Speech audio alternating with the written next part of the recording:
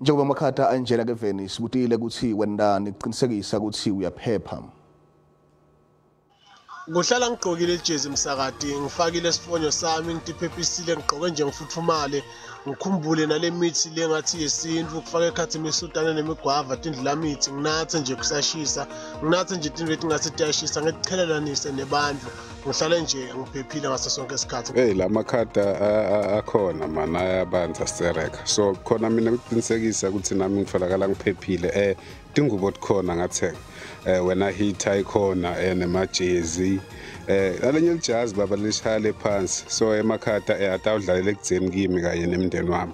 So ngisinalabanye abende njalo. Noma lokhu eh load shedding asiphethe nje. Kutivikela kulamakhada lawa alamalanga. Siyagcoka sibe right sifuthumale siyabumbela nje sibe mnandi. Kanti uma ukuthi isikhathi sikhona kumbe akukho lapho siyakhona siyahlangana sibangani sibasemlilo sothele sifuthumale sibe right.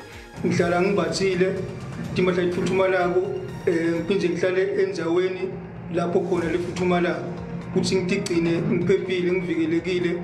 Kunawo amakhada lakhona into ezongisiza kakhulu lamakhaza ngoba hey kuyabanda ngempela nakhona la egoli kuyabanda lishubisa umkantsha yiko ukuhlala endlini ayikho enye into ngoba kuyaziwa nanokuthi i-covid-19 izinikeza amandla uma ngabe kubanda. So uma kubanda na i-covid-19 imawala kakhulu. Ah mina ngizobe ngizihlalele endlini nabantwana sihlezi indoors siziphuzelela itiya nelemon kanye no vitamin C.